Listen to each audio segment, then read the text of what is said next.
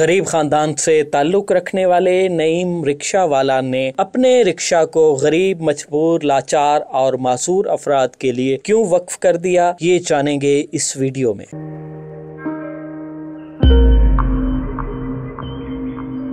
वालेकुम Nasreen A W C digital media के साथ मैं हूँ मोहम्मद इमरान जाफ़र। नासरीन, एक क्या खूब शेर है, दर्द दिल के वास्ते पैदा किया इंसान को, वरना तात के लिए कम न थे करो बयां। आज जिस शख्सियत से मैं आपकी मुलाकात करवाने लगा हूँ, वो इस चीज़ की गोया तफसीर है। मेरी मुराद है मोहम्मद नईम रिक्शे वाला से। इनकी खासियत ये है कि ये पेशे के अतबार से रिक्शा चलाते हैं, लेकिन अल्लाह ताला ने इनके दिल में इतना एहसास, इतना दर्द रखा है कि इन्होंने अपने रिक्शे पे बाकायदा एक फ्लैक्स लगाई हुई है, जिस पर इन्होंने अपना नंबर भी दिया हुआ है और उस पर बतौर ख़ास तहरीर किया है कि माजूर और बीमार अफराद के लिए उनके पिकेट और ड्राप की शहर में ये जो है फ्री सहूलत दे रहे हैं।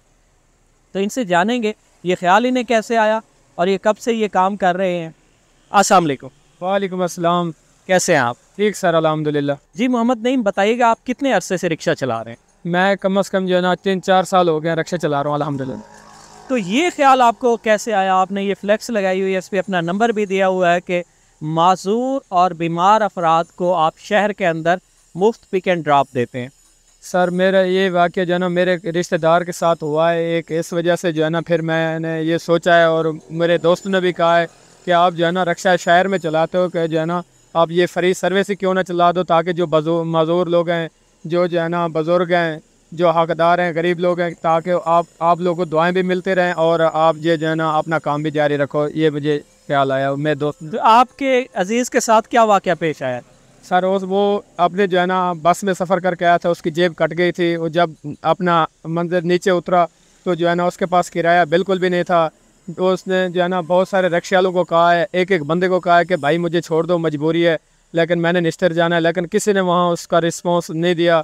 कोई वो पैदल बेचारा जो है ना, आखिरकार अपनी मंजिल पे पहुँचा। जब वो हमारी मुलाकात हुई, उससे वो कहते हैं कि, भाई, आप शहर में रक्षा चलाते हो, क्या कोई गरीब लोग आपको मिल जाएँ, कोई माजूर मिल जाएँ, या कोई ऐसा मजबूर बंदा मिल जाए तो आप उसकी मदद कर दिया करो ताकि जो है ना, ये सवाब का काम होता है। मेरे साथ ये वाक़ हुआ है ताकि किसी और के साथ ये वाक़ ना हो। आप कितने अरसे से ये सर्विस दे रहे हैं माजूर और बीमार और मजबूर अफराद को सर ये कम अज़ कम जो है ना डेढ़ डे, साल डेढ़ साल हो गया। अलहमदिल्ला मैं ये सर्विस मुल्तान सिटी में दे रहा हूँ। तो कितने लोगों को अंदाज़न आप उनकी मंजिल तक पहुँचा चुके हैं? माशाल्लाह बहुत सारे लोग हैं बस अनगिनत है बहुत सारे लोग हैं। मतलब तादाद कभी आपने नहीं गिनी? नहीं। तो आपको रोज़ाना की बुनियाद पे ऐसी सवारियाँ मिल जाती हैं या दूसरे तीसरे दिन या हफ़्ते में एक दो दफ़ा? नहीं रोज़ाना की बुनियाद पर माशाल्लाह गैबाना लोग बहुत सारे मिलते हैं और किसी की कॉल भी आती है तो हम माशाल्लाह उसे भी रिस्पॉन्स देते हैं। गैबाना लोग माशाल्लाह बहुत ज़्यादा मिलते हैं। आपको ये ख्याल नहीं आता कि आप अपना रिक्शा भी मसरूफ़ करते हैं और उससे कमाई भी नहीं होती?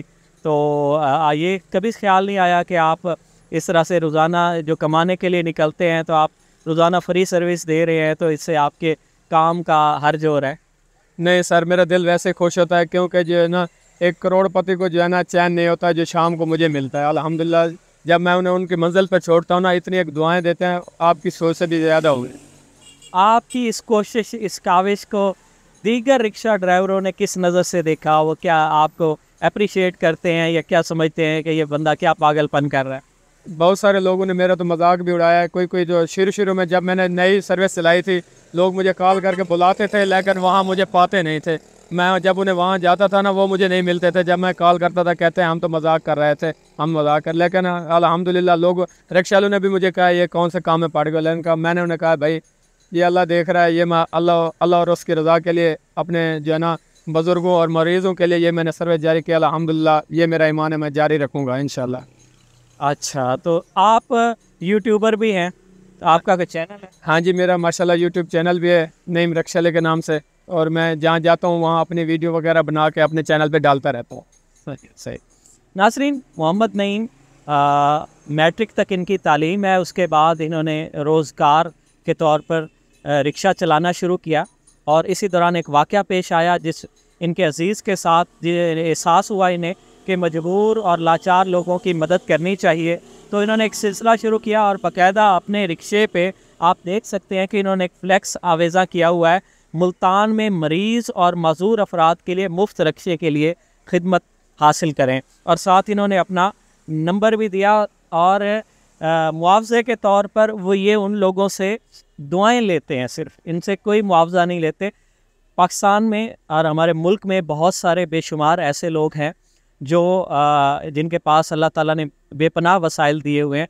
लेकिन कहा यह जाता है कि अल्लाह ताला अपने बंदों की खिदमत के लिए, नेक काम के लिए मखसूस लोगों को चुनता है। मोहम्मद नईम भी उनमें से एक ऐसे ही शख्स है, जिन्होंने इस काम को अपनाया और एक मिसाल कायम की। इस चीज़ से कत नज़र कि ये इनका रोज़गार है, लेकिन ये अपने रोज़गार का काफ़ी सारा हिस्सा सिर्फ़ इस अल्लाह की रज़ा के लिए, लोगों की खिदमत के लिए कुर्बान करते हैं। आप किसी को कोई मैसेज देना चाहेंगे, इस हवाले से जो आप इन्हें खिदमत का सिलसिला शुरू किया।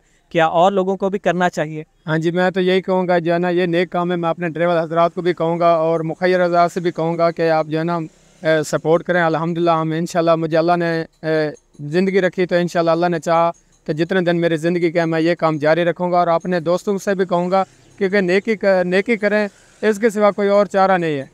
क्योंकि चार दिन की ज़िंदगी कोई पता नहीं है कहाँ मर कहाँ मर्ज़ी साह निकल जाए। कि दिल को सुकून मिलता है, नेक काम करने से। जब लोग दुआएँ देते हैं ना, माशाल्लाह बहुत ही सुकून होता है। मैं अपने दोस्तों से कहूँगा कि ये काम शुरू करें और इसमें बहुत ही जो है ना, दुआएँ मिलती हैं और अल्लाह राज़ी होता है। नाजरीन, मोहम्मद नईम हमारे माशरे का मस्बत चेहरा है। ये वो पाकिस्तानी है जो दुनिया में भी पाकिस्तान का सॉफ्ट इमेज उजागर कर सकते हैं। इन्होंने नामसाइद हालात में और अपनी थोड़ी सी आमदनी में और उसी आमदनी में अपने कारोबार में अल्लाह ताला की रज़ा को शामिल करते हुए ये सिलसिला शुरू किया है। ये बिलाशुबा एक मिसाल है और बहुत सारे लोगों के लिए, जिनके पास बहुत सारे वसाइल हैं, उनके लिए भी ये एक काबिल तकलीद पर्सन है। तो इनके, इनकी आप अगर इनका यूट्यूब चैनल है, आप इनका चैनल सर्च कीजिए, उसे सब्सक्राइब कीजिए, ऐसे लोगों की मामनत कीजिए, उनका हौसला बढ़ाइए, ताकि हमारे माशरे में नेकी और अच्छाई को प्रमोशन मिल सके। तो मज़ीद ऐसी मुफीद मालूमती, दिलचस्प और मोटिवेशनल वीडियोज़ के लिए जुड़े रहिए डब्ल्यू सी डिजिटल मीडिया के साथ। अपने मेज़बान मोहम्मद इमरान जाफिर को दीजिए इजाज़त। अल्लाह के बाद